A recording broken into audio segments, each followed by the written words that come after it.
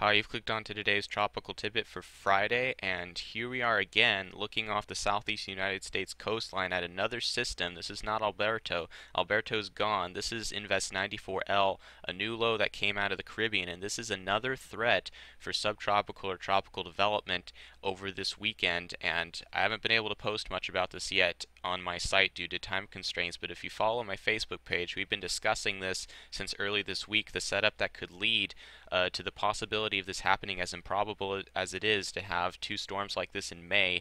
Uh, we have again another upper trough that is getting cut off over the southeast United States uh, due to a blocking ridge off to the north, and uh, this upper trough is moving out over the water slowly over the next couple of days and getting stacked with this area of surface low pressure. And when it does that, it can allow warm core characteristics to develop due to thunderstorm activity being unimpeded by wind shear and having a cold environment aloft to aid instability. And uh, we can get subtropical and eventually tropical transition, just like we had with Alberto. Now, this is a much larger system than Alberto, and this is going to have some different factors going on with it. You can see a large moisture shield in here, and uh, you can see that that there's two centers right now. We have this one here, which really came out of the Caribbean, and we have a second center up here, which is really a baroclinic reaction to the fact that we have a bunch of diffluent flow aloft here, and uh, these two will probably dance around each other and eventually combine into a singular low pressure area tonight and tomorrow, and um, this is going to be around for a while.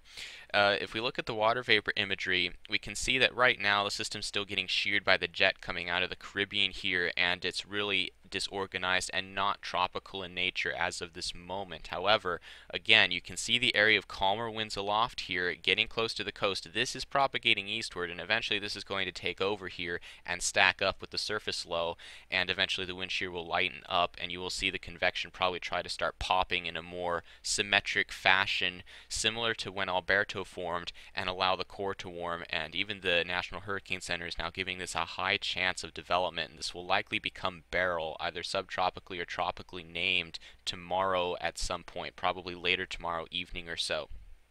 Now, what we're watching here is the fact that although this is moving northeast, this isn't going to be able to escape because if you look back to the west here, we have a, a, deep layer ridge centered over the southern part of the United States. We have an upper trough digging into the western U.S., and that's what's bringing Hurricane Bud close to the Mexican coastline here.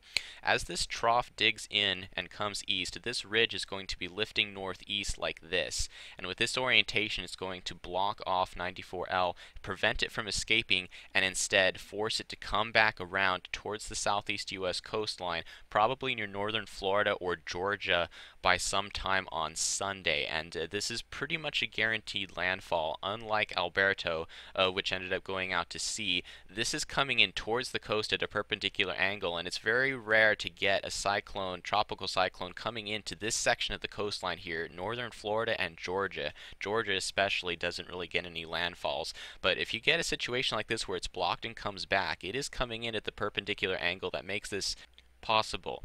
Now here's the European look at the situation. This is valid Saturday evening from last night's run. You can see how much it winds up the low here uh, off of the Georgia coastline down under 1,008 millibars, probably at least tropical storm strength here. It already has gales on the eastern side, and you can see that by Sunday evening it brings it in to Daytona Beach here, a little bit farther south than some of the other models, but most of the models, as we'll see, are uh, generally between Savannah, Georgia, and Daytona Beach here, in fairly good agreement on this pattern, as the steering will be more more known than Alberto. With Alberto, it was a little bit weaker. The steering here is going to be a little bit easier to work out.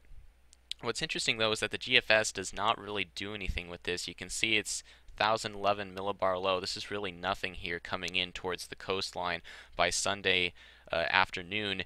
It's a little little spread out. It could be that it's not consolidating it very much, but it's interesting that the GFS still has not latched on to development, even though it was one of the first models to see this happening. It could be, though, if you look at the initialization, it starts it out at between 1016 and 1018 millibars out here at zero hours, which is incorrect because the low is already down to about 1010, and uh, the initialization may be too weak with that, and that could be a problem. So for now, with all the other models basically on board with at least a weak tropical storm developing out of this, we're going to discard the GFS showing no development, and we're going to assume that it does because chances are it's going to. Now these are the late model tracks here uh, for for 6Z rather. You can see um, that they bring it up and it comes back around and it moves right into the Jacksonville, Florida area. Now what I want to pay attention to is where the initialization location is because it got moved. Now here it is at 6Z, just to the north of the Bahamas. If we look at the early 12Z runs, notice where it is. It's no longer down here, it's moved up to the north. And here's what happened. Uh, remember these two centers here the one here and the one here, uh, what they did is they switched the coordinate of 94L from this low up to this low. And I think that was a mistake because this is the low that's going to be carrying the burden over the next 24 hours. And the reason why is because it's the closest to the convergence zone here with the trade winds coming in from the southeast, hitting the wall that uh, is there at the low pressure region and causing most of the upward motion here. Also, this is the baroclinic low. This is not the tropical origin low, and this is probably going to just get merged in with this one with time. This should be dominant, and you can see the rotation starting to show up in here. This should be the dominant low. I think it was a mistake to move it to the north, and you see what the consequence of that was. Moving to the northern location, have the models now taking this into South Carolina uh, which I think is less likely. I think it's more likely that we're going to see something in the middle here where this low merges with the one to the south, and then we take the best of both worlds and take it more in the middle here towards Georgia or northern Florida. And I think this model track set has a better general look to it than this one does, and I think these are too far north in here going into South Carolina. That said, South Carolina will probably get some rainfall from this due to the massive rain shield uh, that exists to the north of it and all the moisture that's going to be coming in with the onshore flow. Now here are the sea surface temperatures off the southeast coastline and you can see the Gulf Stream here. This is where Alberto tried to develop over 26 seawater. Uh, this line right in here shows where all the water is above 26 degrees Celsius. You can see there's a decent area of it. It's not particularly warm, but it is a degree or so warmer than it's supposed to be for this time of year. Even 27 degrees Celsius is showing up here. Now, if we have this track that's going to come up like this and then come back towards the coast, you can see that it has to move over the warmest part of the southwest Atlantic in here. So there is a decent amount of fuel there. You can see that the shelf waters get colder, which is another reason why this will probably try to weaken a little bit just before landfall and it will probably reach its peak while it's over this warm pool that's sitting in the uh, southern part of the Gulf Stream here. Um, talking more about the strength of this, how strong it's really going to get, there are some issues here. It is different setup than Alberto. You can see that there's a lot of moisture available for it here. There's a big moisture shield, and this moisture is not going anywhere over the next couple of days, and so it will be able to tap into this for quite a while. Also, you can see that the moisture is already trying to spread uh, to the west here. You can see the cumulus clouds developing over North Carolina, indicating the edge of the mid-level moisture shield is already making it inland, which means the moisture is getting wrapped around into the northwest quadrant of the storm. Convection is not developing yet because of the wind shear pushing everything off to the northeast. So there is more moisture available than with Alberto. Also, the dew points are closer to 70 over here over this entire region, unlike uh, with Alberto when they were in the 40s. So the low-level moisture is better over the continent and won't be as much of an issue. However, the system is larger and it can bring drier air in from farther away, so it kind of balances a little bit.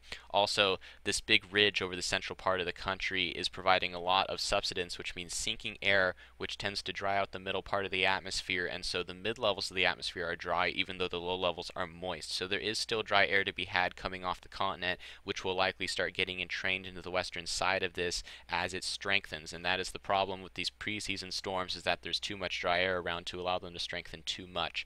However, However, conditions look a little bit more conducive than they were with Alberto. It's a larger storm with more moisture to work with, and the waters are warm in here. So it's probably going to make it to Alberto's peak strength. I think around 60 miles per hour for a tropical storm is where this is going to go, plus or minus 5 or something like that.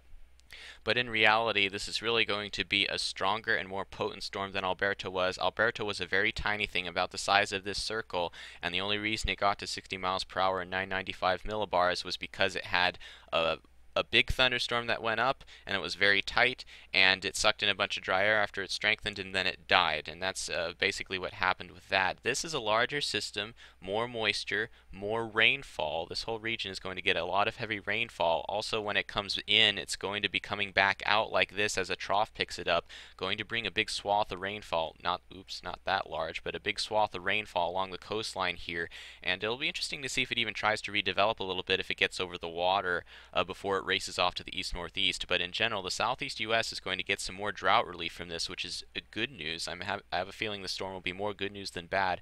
But this may get up to 60 miles per hour, which means that a larger area of uh, at least gale force winds is going to be coming into the coastline. Unlike Alberto, which was small and then didn't get the winds on shore, this is going to be affecting people in this region and uh, mostly beneficial with the rainfall. So this is not that bad of a story, but uh, this is going to be Beryl, most likely tomorrow at some point. We'll be coming into the coast sometime on Sunday near Jacksonville, uh, plus or minus to Daytona Beach to Savannah, Georgia, somewhere in here, coming into this curved region of the coastline. We'll have to watch for it trying to tighten up uh, because of the curvature of the coastline as it comes in at a perpendicular angle. It's rare to get these coming into this part of the coastline, uh, but it will be interesting to see if it tries to tighten up. It'll probably reach its peak over here, over the warmest part of the water, weaken a little bit before landfall, but the curvature of the coastline could offset that a little bit. We'll be watching for that. And uh, I will have another discussion out on this later, probably either tonight or tomorrow morning, and uh, we shall see what happens. Alright, that's it for today. Thanks for watching.